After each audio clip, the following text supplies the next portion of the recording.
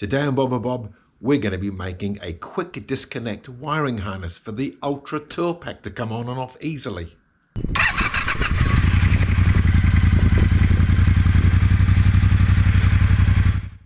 Well, welcome back to the channel, everyone. I'm Bobber Bob, and today we have a new project that hopefully won't take me too long, but we'll see. So behind me, you can see the new project in the garage is a 2009 Harley Davidson Ultra Classic Electric Glide. It's Junior Bob's one. I've still got my Trumpy and I've still got my Electric Glide. But today we're going to be looking at what it takes to shorten the wire harness going to the Tour-Pak so that when we fit the quick detach to that Tour-Pak, we can also unplug the wiring um, pretty easily. Problem is, it's sort of hardwired at the moment. There's no real easy way to do it, and Harley Davidson doesn't seem like they um, sell a quick disconnect set or a a better method of getting the Tour-Pak on and off with some uh, plugs. So we're going to get into that. Let's have a look around the bike first. So obviously it's in a bit of a state of disassembly at the moment, but this is a 2009 Harley Davidson Ultra Classic Electric Glide. It's the year before they went to what was called now what they, they have called the limited model, but this um, still has a good number of features on it um, over any sort of standard regular Harley Davidson. And it's also the first year of the frame change 2009 over my bike, which is the 2007, which you can see there barely. And it's got some uh, different handling and comfort improvements over my version. Let's just have a quick look around at what we're doing today. So we've got the Tour-Pak fitted on the back. But as you can see, the wires that all come out of this from the speakers, from the aerial, from another aerial, and from the other side of the speakers, and also this um, harness here for the, the passenger.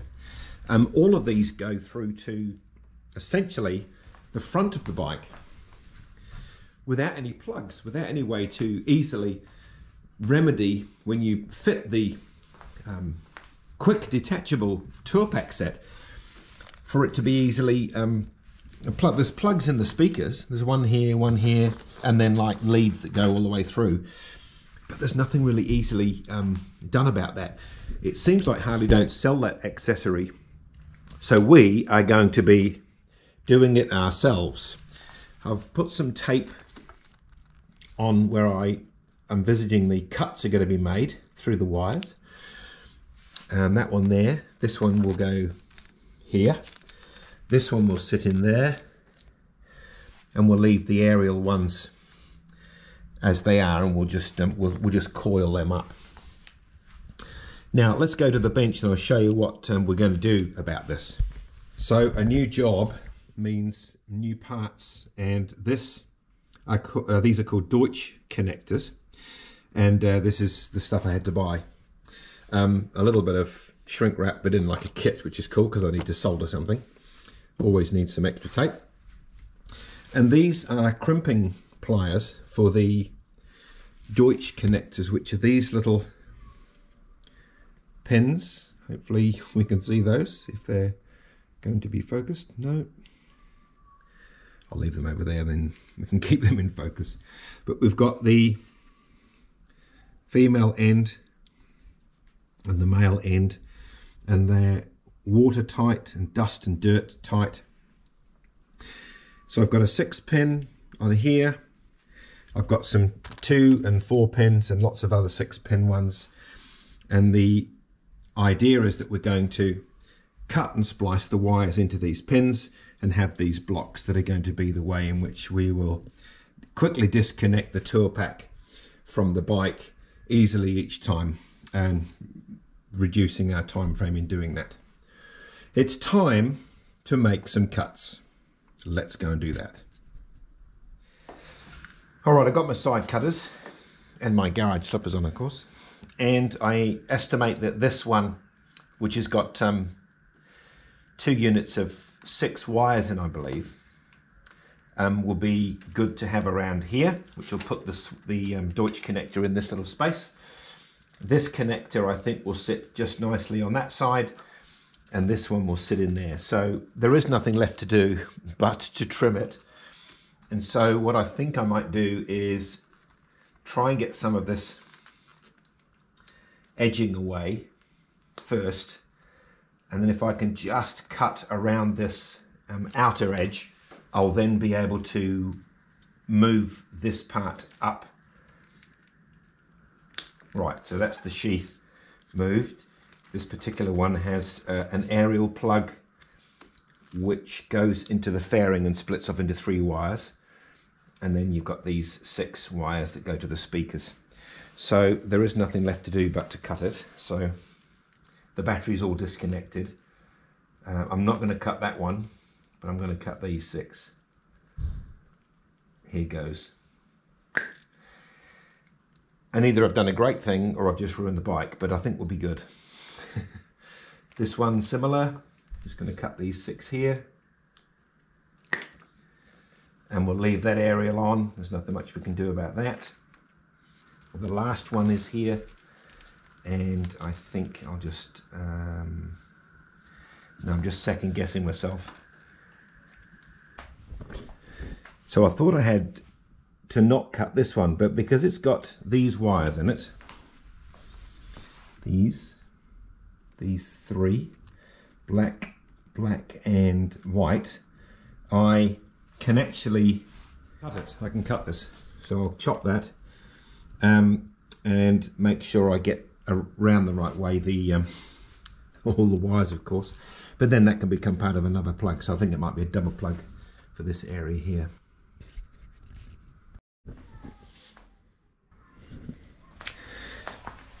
so I've undone the cable that is for the um, radio.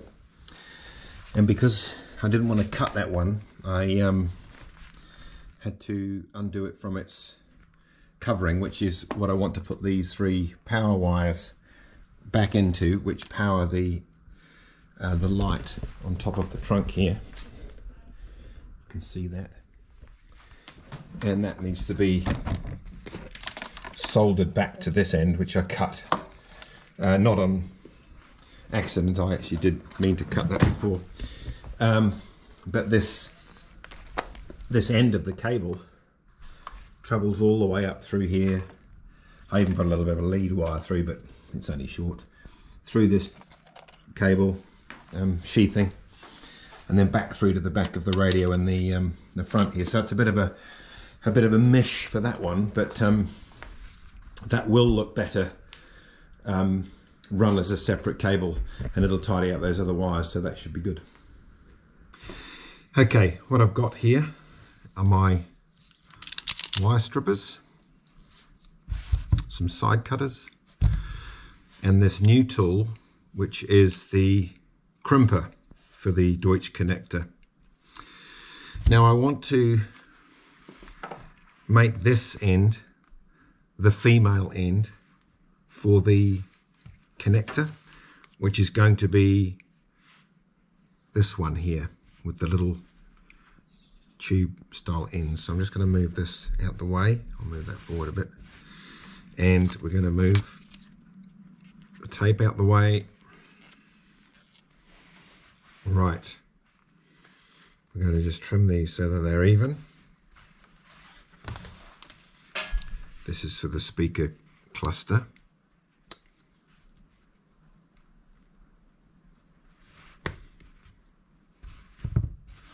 Pretty close.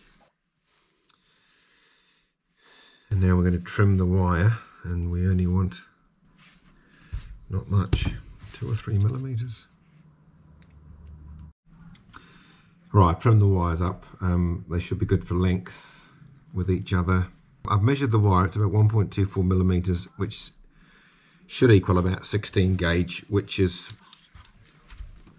the issue I've got with this. It's got on there 16, 18 and 20 and I was watching how to, to do this so that I really have to try it just by doing the first one. So I'm going to go for the 18. There we go. That's looking like it's starting. Um, I'm going to put the wire in.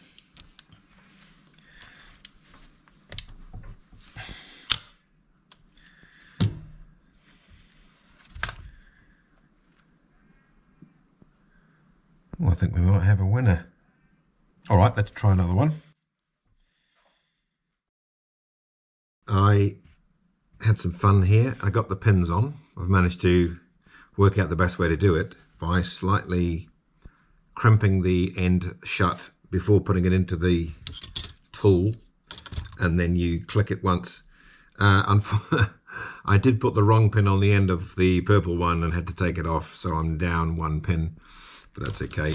So I think the next thing to do is to take these wires and begin to push them into the block, which I understand you just put them through the rubber end until they click into place.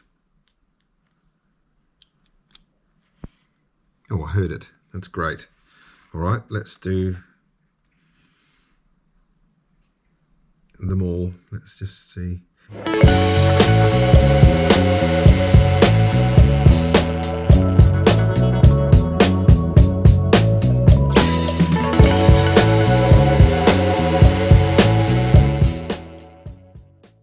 This one, as you can see, it didn't quite clamp on very nicely.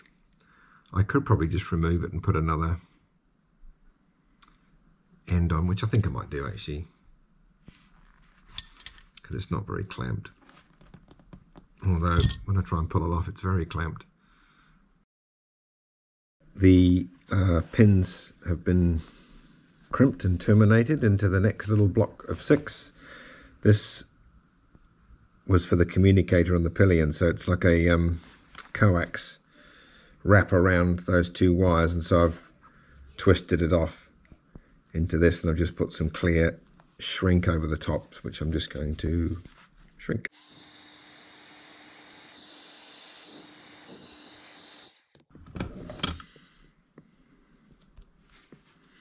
Beautiful.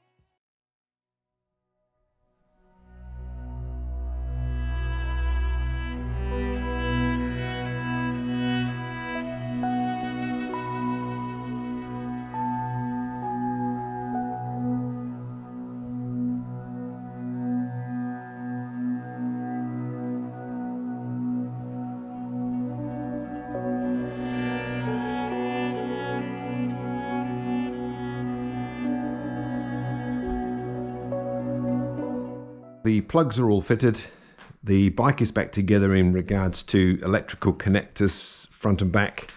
So that's the aerial connector the that I've actually made length go further back to route it through this hole.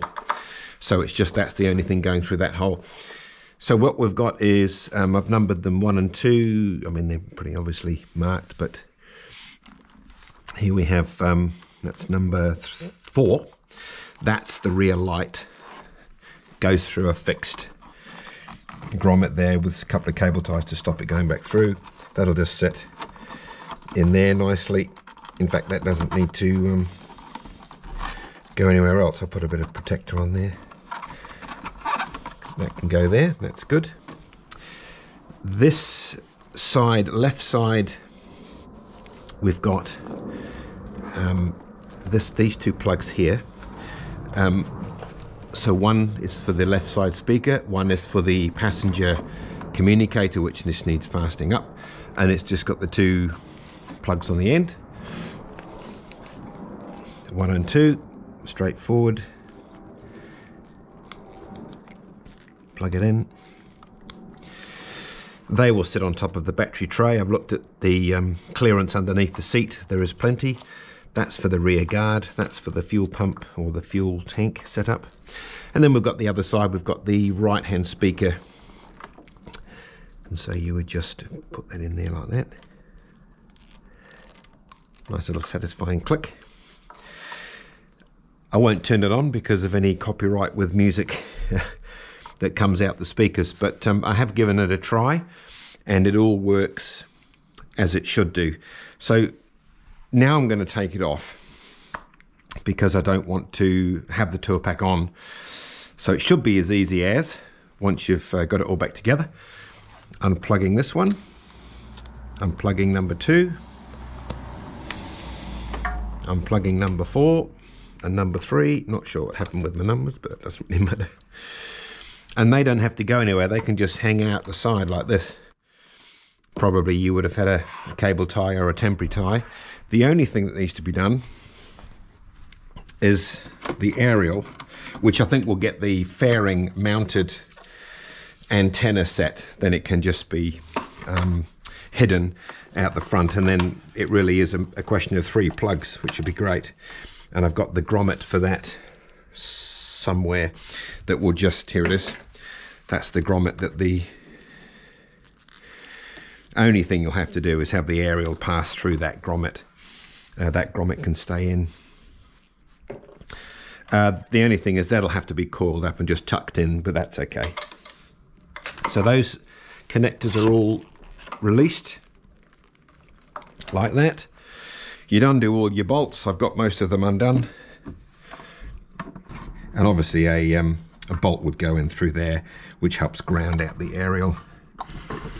And of course, when the quick release mechanism all comes, you won't have to do any of this because it'll all be sorted.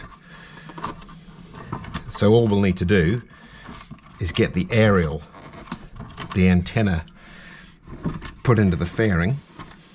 Probably should have got that done well, we don't have one. So obviously this won't need to be done. And then it just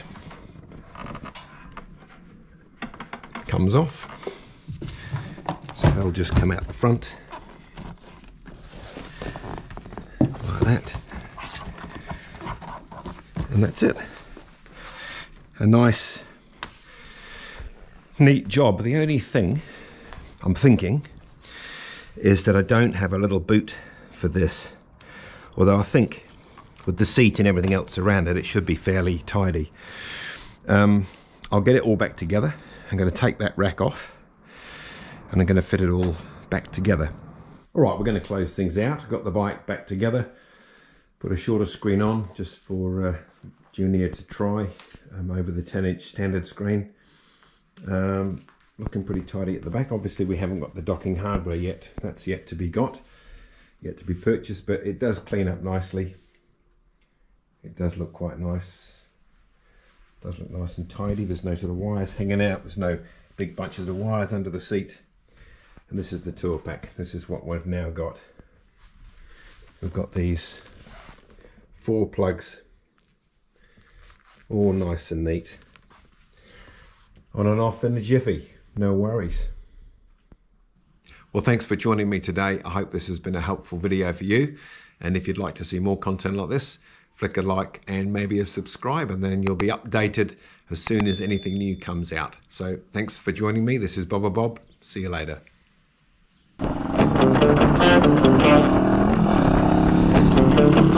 Thank you.